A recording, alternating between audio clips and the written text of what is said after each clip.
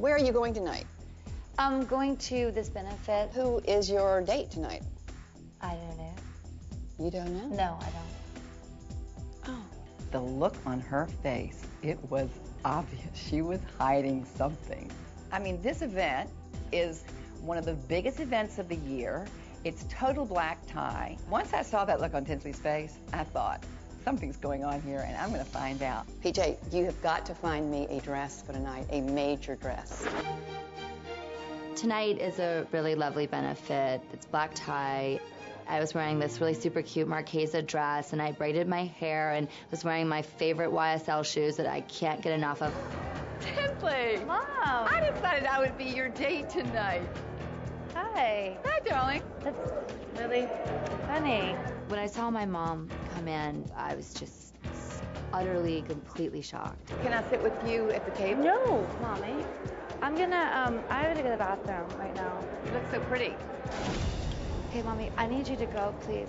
I'm not leaving, honey. I'm all dressed. I'll mommy, just this is going to be embarrassing when I, I'm seated at a table and I can't have you sit there. I mean, why are you so angry that I'm here? I thought you'd be a, it'd be a nice surprise. I just can't. Now I don't know what to do. I mean, Well, I don't know You what want to me to do. leave? Yeah, I want you to leave. Your dress is amazing, though. Thank you.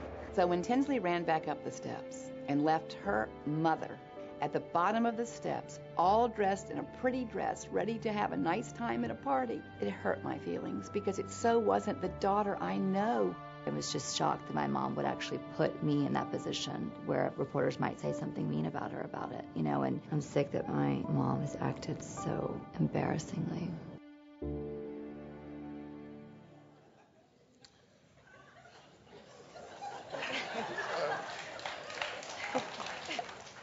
You know, I we're just from very different worlds. Um,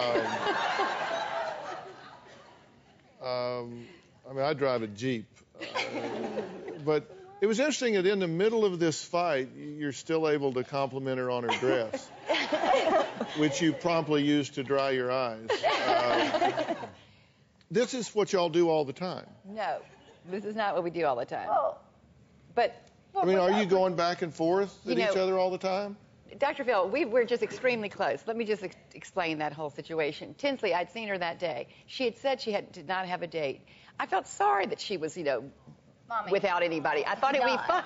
No, you did not. I'm, I we thought all- it'd be fun to surprise her. I think they're throwing the bull flag I on think, you there. yeah.